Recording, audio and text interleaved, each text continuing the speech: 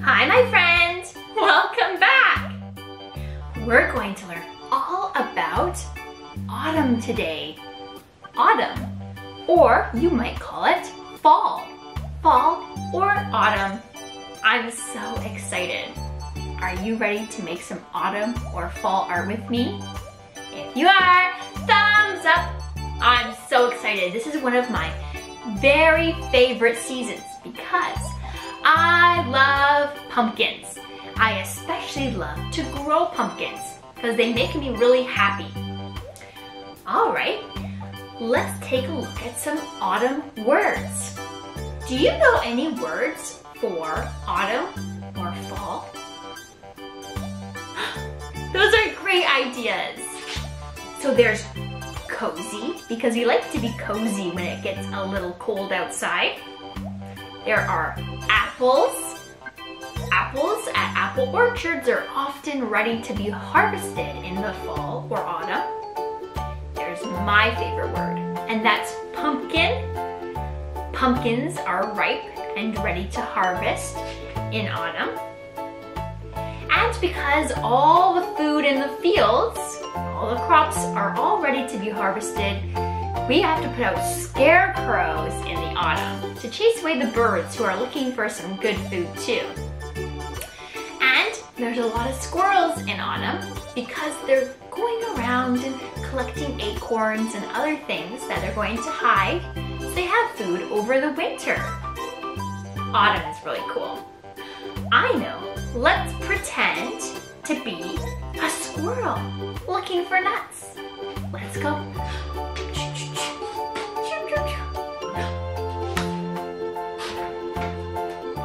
Did you pretend to be a squirrel too? Good job. All right, let's do our warm up.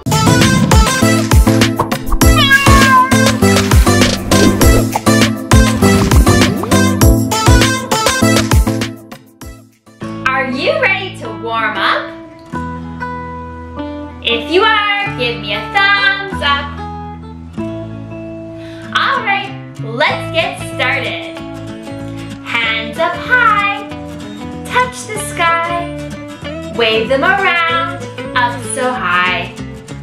Hands down low, touch your toes, wiggle and giggle, see how it goes. Hands to the side, now let's clap. Clap and smile in a snap.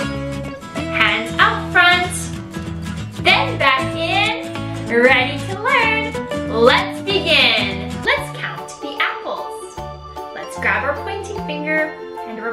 point to the apple as we count. Ready? One, two, three, four, five, six, seven, eight,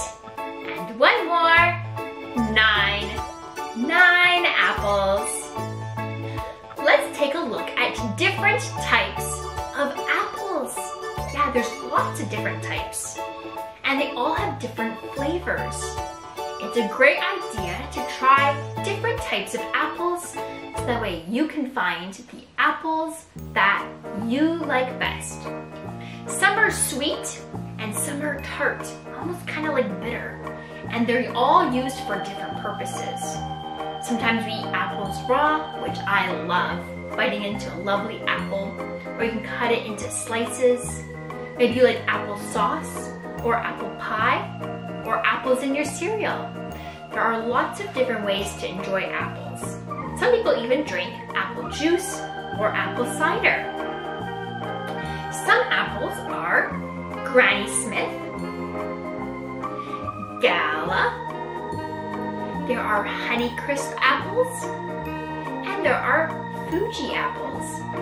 But there's lots of different types of apples.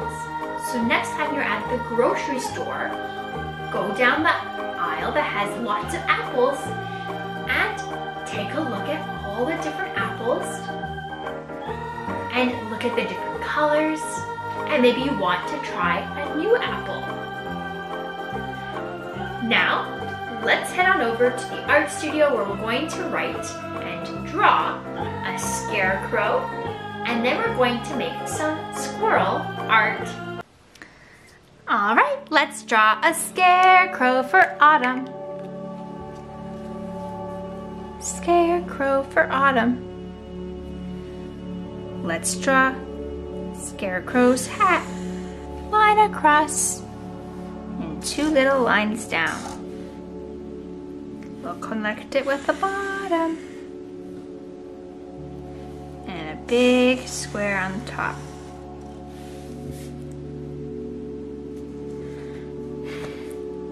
Like zigzag lines below for Scarecrow's straw hair. Let's add diagonal lines one way on the hat for weaving of a straw and diagonal lines the other way to make a pattern and texture so it looks like it was woven. Let's draw a big letter U below for the face, the zigzag lines below For the straw coming out. Let's draw an oval for the nose and a big smiley. And on either side, we're going to add eyes. And I like to color them in, leaving just a little bit of white.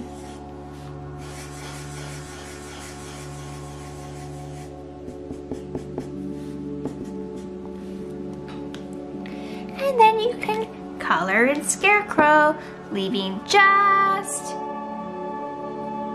Actually, no, just color it in. Yeah, color in Scarecrow using your favorite art mediums and colors. You get to pick anything you want for your own artwork, and that's what is so fun about making art.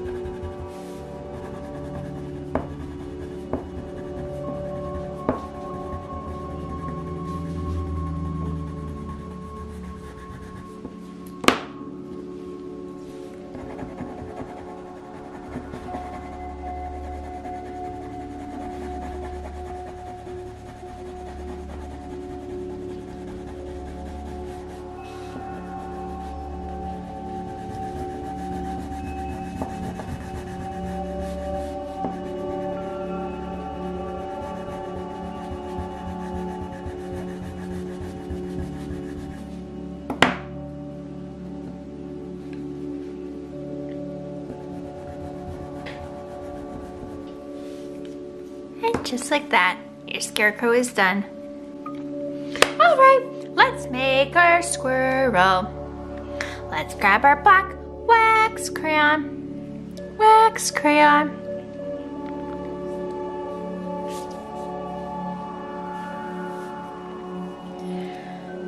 Let's draw a half circle or a letter C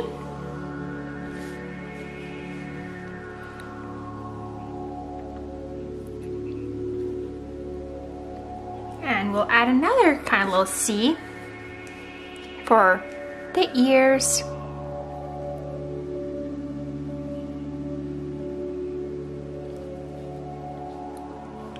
We'll draw a line down for our squirrel's back.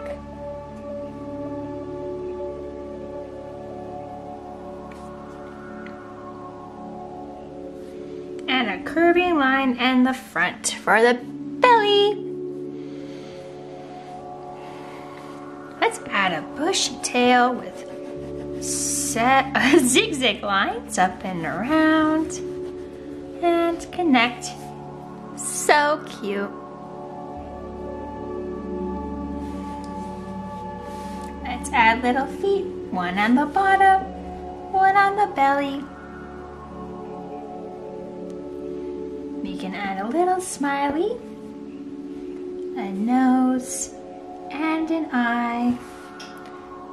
Smiley nose eye, smiley mouth nose eye on our super cute squirrel.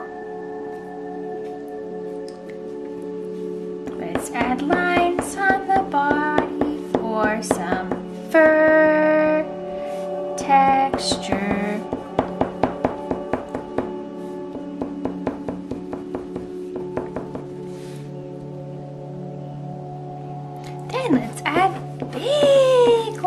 Lines on the tail. Big lines on the tail. So cute.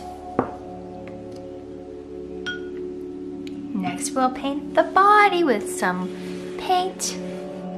I want to dip my brush in water, then dip it in the brown. I'm going to paint my squirrel's body brown.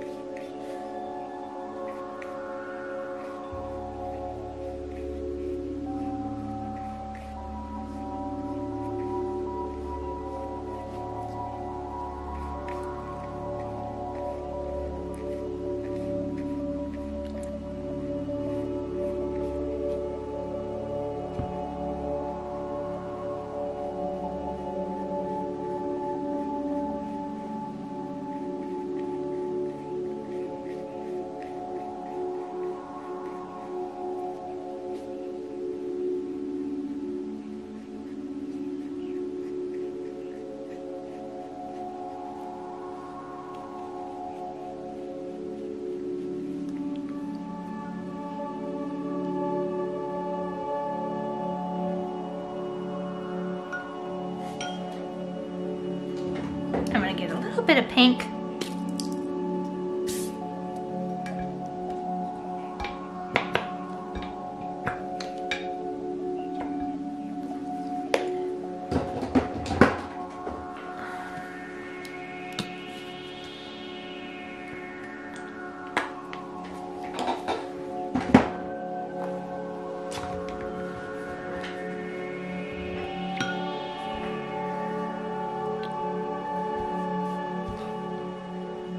I'm gonna add pink to the nose and the ear. Now let's do some finger painting in the background. So I'm gonna grab a choice color. Let's add some zigzags around. Ooh, isn't that fun? You can feel the paint. So squishy.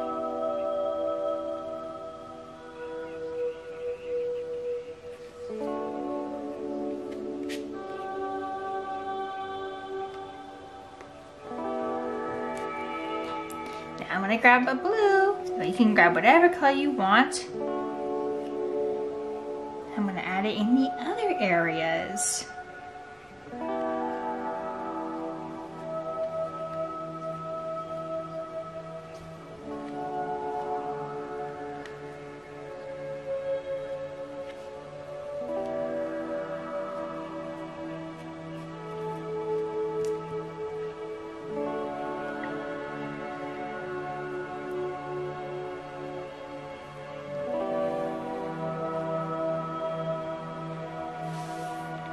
And just like that, your squirrel is... Hi, my friend. Thank you so much for learning with me today.